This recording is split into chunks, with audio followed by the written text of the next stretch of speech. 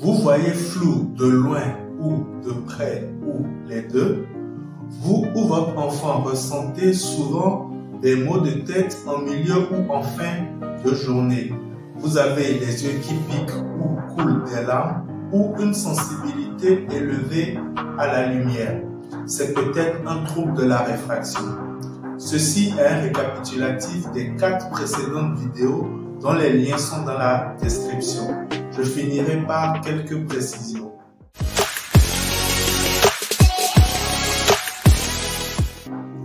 Bonjour, je suis Afolabi Yazid Sabé, je suis ophtalmologiste. J'espère que vous avez la super forme.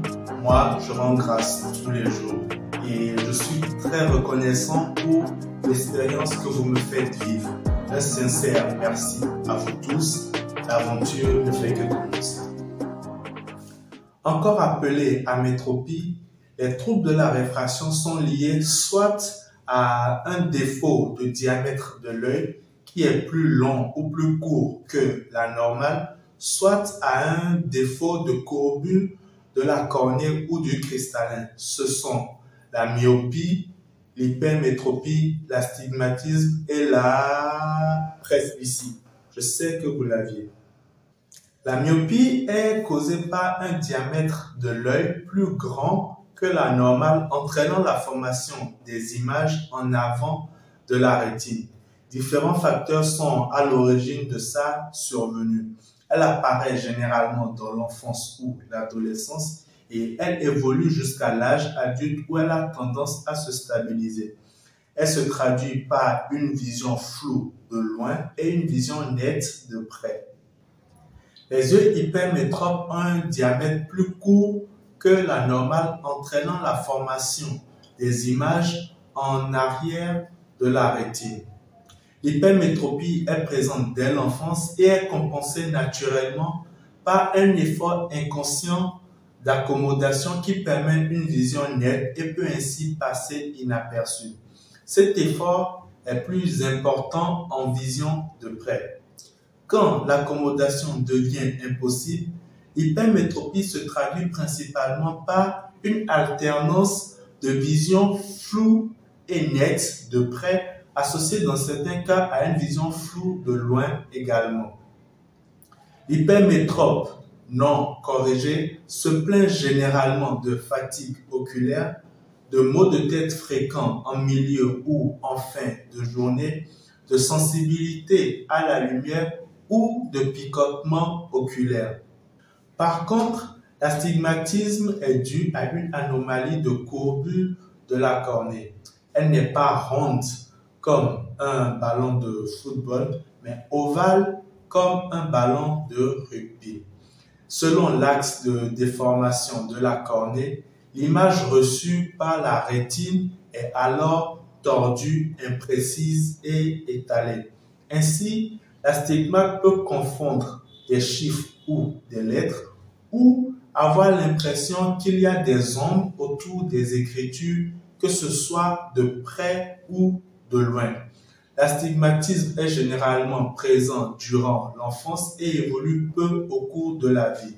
La personne qui en est atteinte se plaint de fatigue oculaire ou de maux de tête à force de plisser les yeux pour ajuster sa vue qui est floue.